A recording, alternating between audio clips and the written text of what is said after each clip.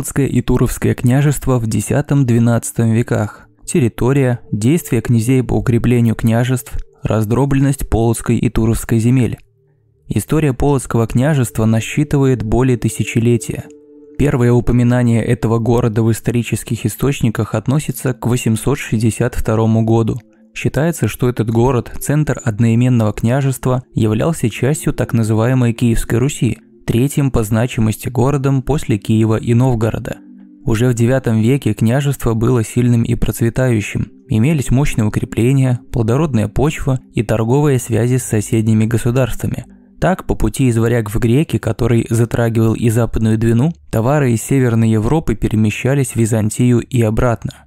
Выгодное географическое положение способствовало экономическому развитию и росту Полоцкого княжества, в том числе его значимости в древнем восточнославянском государстве.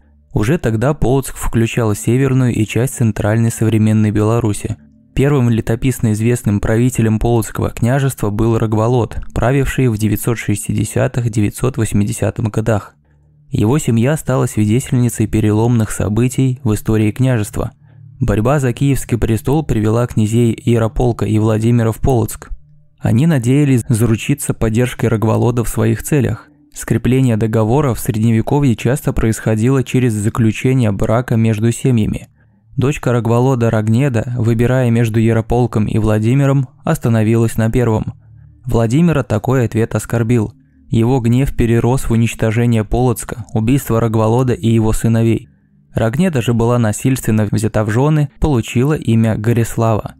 От их брака родился сын Изяслав, который в будущем положил начало династии полоцких правителей Изяславичей, а его мать, постригшись монахине, обрела третье имя – Анастасия. В одну из ночей, когда Рогнеда пыталась отомстить Владимиру за его поступок, Изяслав заступился за мать. Помимо своей храбрости, Изяслав известен книжностью. Археологами была найдена принадлежавшая ему печатка. После смерти Изяслава в Полоцке спустя два темных года утвердился его сын Бречеслав. Находясь на престоле 41 год, он расширил границы княжества, а также установил контроль над путем из варяг в греки. В результате успешной борьбы с Новгородом, после битвы на реке Судоме, ему удалось включить в состав Полоцкого княжества Витебск и Усвяты, соединить Волоки, Днепра и Западной Двины. Сын Бречеслава, Всеслав, прозванный чародеем, продолжил политику отца.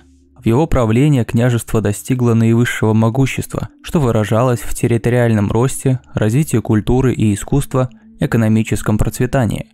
Защищая границы княжества, ему приходилось сталкиваться с соседями.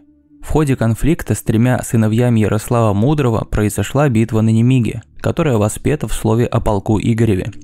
Битва закончилась ничейным результатом. Сеслав бежал, но сыновья Ярослава обманом заманили его на переговоры в Киев, в ходе которых схватили и бросили в поруб. Однако долгое отсутствие князей в Киеве сыграло злую шутку с сыновьями Ярослава – Бунт мещан привел к освобождению Всеслава Чародея из Поруба. Около семи месяцев он даже правил в Киеве. Однако спустя скитания вернулся в Полоцк и продолжил править вплоть до своей смерти в 1101 году. После кончины Всеслава Полоцкое княжество вступило в полосу феодальной раздробленности, распавшись на ряд удельных княжеств. В Полоцком княжестве помимо фигуры князя важное значение имело вече – Общее собрание взрослых мужчин, способных носить оружие. На вече решения принимались по силе крика. Порой Вече избирала князя или лишала его трона. Вече участвовала в обсуждении таких проблем, как заключение договоров и объявление войны. Большинство полномочий было у князя. Он командовал войском, собирал дань с населения, был главным судьей. Помимо княжеской дружины, в Полоцке существовало городское ополчение, состоящее из горожан – защищавших город в случае возникновения угрозы. Судебные решения базировались на устном праве, то есть традициях принятия того или иного решения в той или иной ситуации. Большинство наказаний того времени были прописаны в сборнике законов «Русская правда» Ярослава Мудрого.